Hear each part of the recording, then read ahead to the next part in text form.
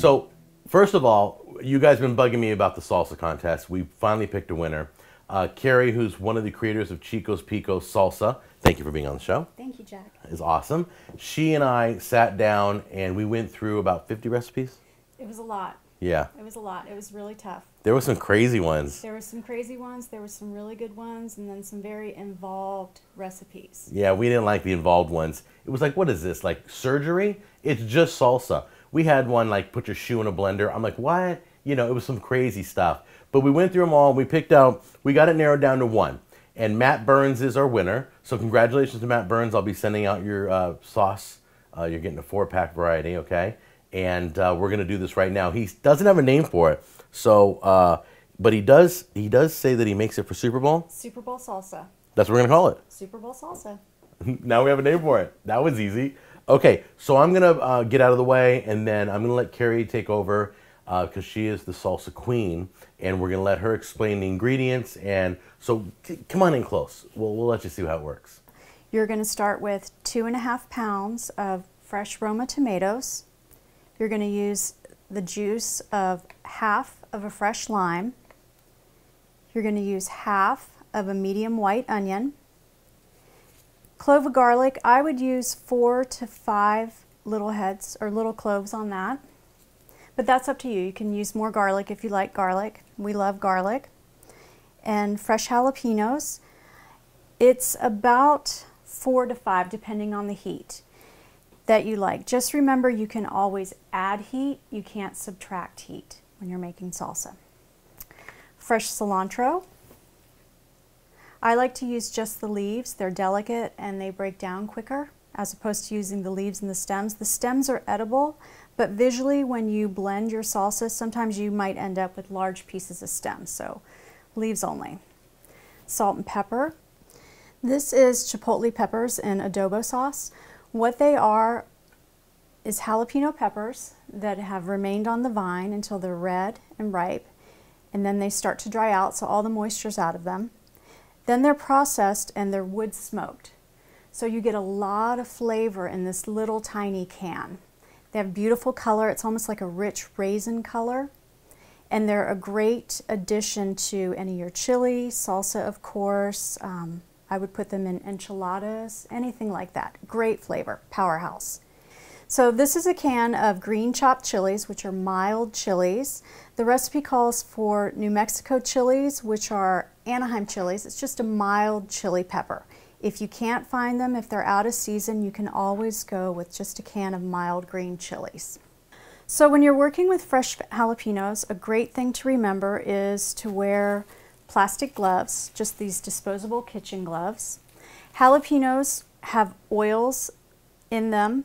They get on your skin and it'll stay on your skin and it actually burns. So you can wash your hands three or four times and your skin will still be burning. Okay, so your first step is you're gonna take your chipotle peppers in the adobo sauce, your garlic.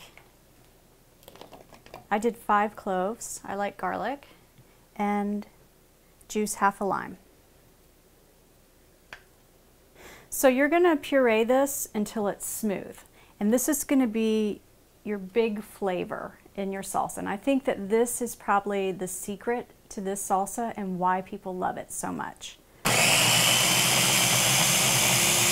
So you've blended your adobo and your chipotle peppers with your garlic and your lime. You've set that aside. Next thing we're going to do is we're going to process our jalapenos first. You want these to be finely chopped. You don't want any big chunks of jalapenos in your salsa.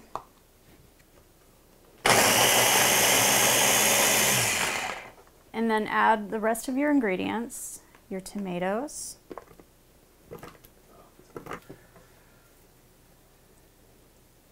and then we just added our mild chilies, your white onions, and then lastly, top it off with your cilantro.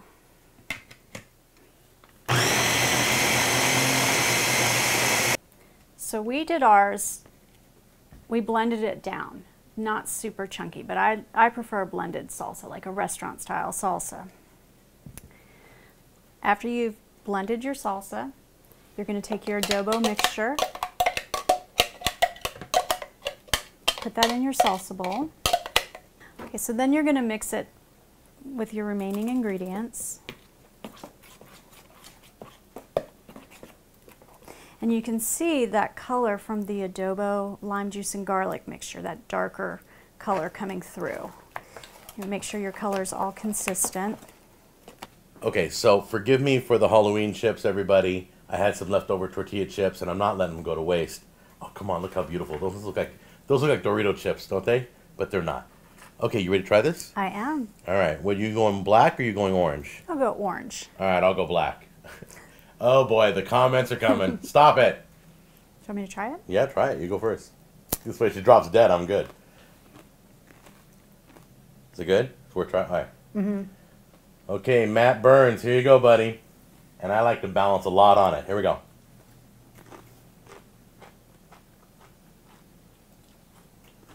Oh wow, Really fresh and hot. and hot. We like Okay, hot. wait a minute, Matt. You didn't know it was hot. It's delicious though. And it has that little bit of like smoky sweetness on the back, Yeah. which is nice. Yeah, it's got that, that smoky. Is that from the Chipotle's? Mm-hmm. Okay, that's the key to this, isn't it? It is. Yeah, the Chipotle's. Oh, I'm sorry. I'm taking another bite. Oh my gosh. The heat's really good though. Okay, be ready for some heat. I'm not kidding. It's nice. Mmm. Oh yeah. I love it. Oh, it's delicious. I love nice job. All right. I just want to thank you, Carrie for being on the show. She picked the best one there. I'm telling you, Super Bowl salsa, right? Matt's, Yeah? Matt Burns Super Bowl salsa. Matt Burns Super Bowl salsa.